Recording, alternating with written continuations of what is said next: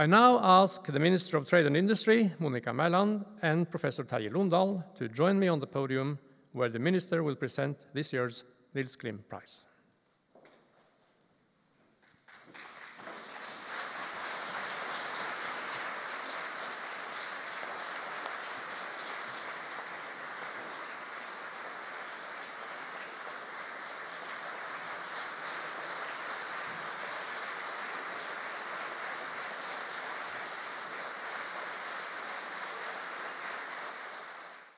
Your Royal Highness Crown Prince Haakon, Minister, the Holberg Board, the Nils Klim Committee, ladies and gentlemen. It is a tremendous honor to stand before you today on the occasion of receiving the Nils Klim Prize. I'm deeply grateful to all of you for being able to share this wonderful occasion with me.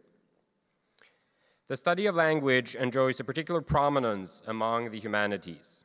For centuries, scholars have been puzzled by the intricate structure of language and how it distinguishes humans from all other animals.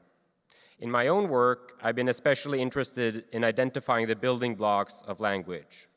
The hypothesis is that these building blocks will enable us to partly explain the ways in which humans and other animals differ. This requires extensive comparative work across a wide range of languages combined with intense theoretical work to distill the basic operations that take place in all human languages. Language plays a central role in our lives. We use it to communicate, to think, to write, and to read. Ludvig Holberg was a master wordsmith, which we all recognize from his remarkable plays and novels, including Nils Klim's Subterranean Journey. Holberg was a child of the Enlightenment, a period where rational thought and inquiry were at the forefront.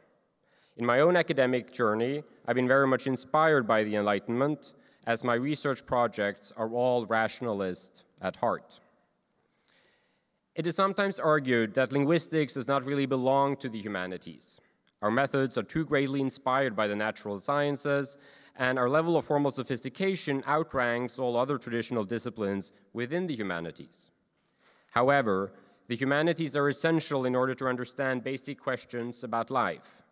Who are we? Why are we who we are?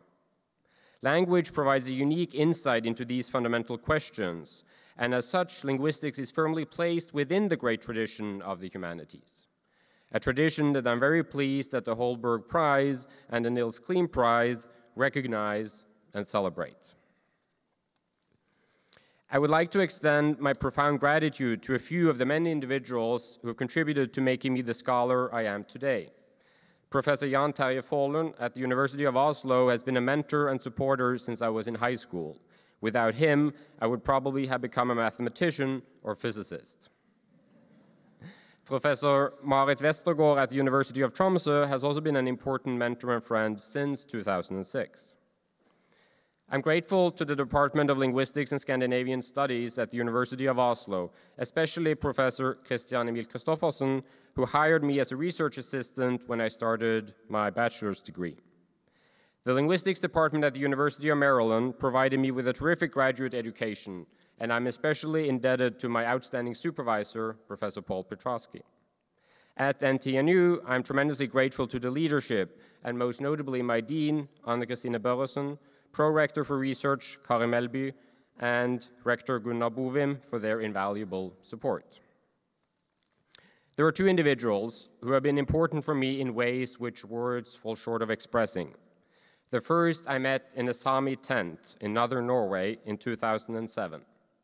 Since then, we've been good friends and colleagues, exchanging numerous emails on a daily basis uh, on everything from dogs to vocabulary insertion.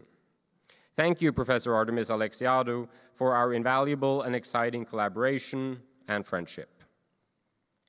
The second person is my father, who at a crucial moment during my undergraduate years provided the moral support I needed to continue studying linguistics.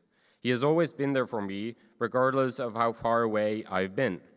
Tusen takk, pappa. Thank you, and thank you all for your attention.